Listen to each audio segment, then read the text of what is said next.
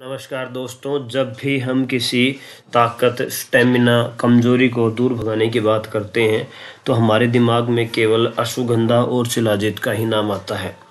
दोस्तों, आज के इस वीडियो में हम जानने वाले हैं, क्या हम अश्वगंधा और शिलाजित को एक साथ प्रयोग कर सकते हैं? यदि हम ऐसा करते हैं तो हमारे शरीर में क्या क्या फ़ायदे होंगे? प्रयोग करने के दौरान आपको क्या क्या सावधानियाँ रखनी चाहिए, किन लोगों को इन औषधियों का बिल्कुल भी इस्तेमाल नहीं करना चाहिए? तो दोस्तों, सबसे पहले इसी क्वेश्चन का आंसर देते हैं कि क्या इनको एक साथ प्रयोग कर सकते हैं या नहीं।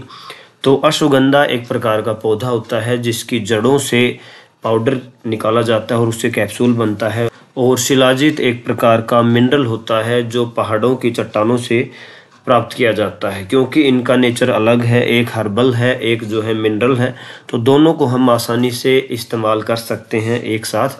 आप दोनों को एक साथ भी प्रयोग कर सकते हैं और दोनों के बीच में पंद्रह बीस मिनट का गैप भी रख सकते। हैं अब अगर बात करें अश्वगंधा के फायदों की तो अश्वगंधा हमारे दिमाग के लिए बहुत ज़्यादा फ़ायदेमंद होता है। जिन लोगों को स्ट्रेस रहता है, जिन लोगों की याददाश्त कम रहती है, एंग्जाइटी है, जिनको दिमाग में ज़्यादा शांति नहीं रहती है तो अश्वगंधा का इस्तेमाल करने से आपके दिल को मजबूती मिलती है। इसके अंदर बहुत अच्छा कैल्शियम होने के कारण ये हड्डियों और मांसपेशियों को अच्छा रखता है। जिन लोगों के शरीर में ज़्यादा थकान रहती है लो एनर्जी फील करते हैं, वो भी अश्वगंधा का इस्तेमाल करें।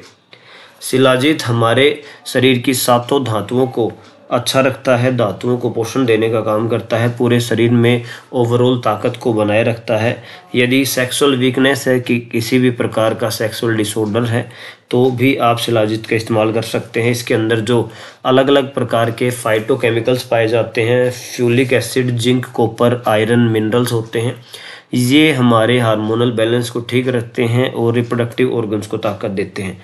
जिन लोगों के शरीर में नसें कमज़ोर हैं, जिनके शरीर में कंपन रहता है, वो भी इसका इस्तेमाल कर सकते हैं, जो लोग अपने शुगर को कंट्रोल करना चाहते हैं। डायबिटीज़ के लिए काफ़ी फ़ायदेमंद होता है।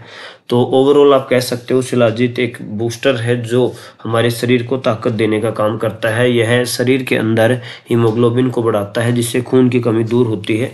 यह गंदगी को बाहर निकालता है, जो भी हमारे शरीर में टॉक्सिन्स होते हैं, उनको दूर करने का काम करता है।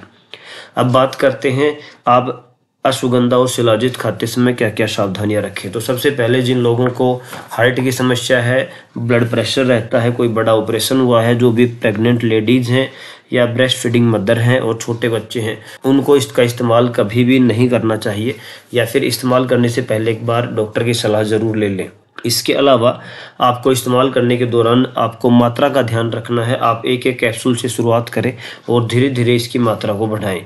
जो लोग बहुत ज़्यादा कमज़ोर हैं और जो अपना वज़न बढ़ाना चाहते हैं, वो एक बार वैद्य की सलाह भी ले सकते हैं, जिससे आपको अपने शरीर के अनुसार मात्रा और डोज बताई जाएगी।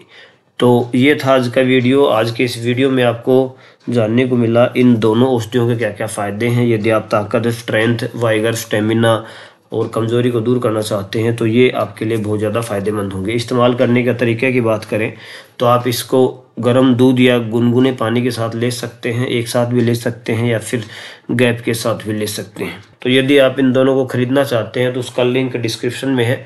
आप डिस्क्रिप्शन में दिए गए लिंक पर क्लिक करके ख़रीद सकते हैं। मैंने इनका अलग अलग रिव्यू भी किया हुआ है।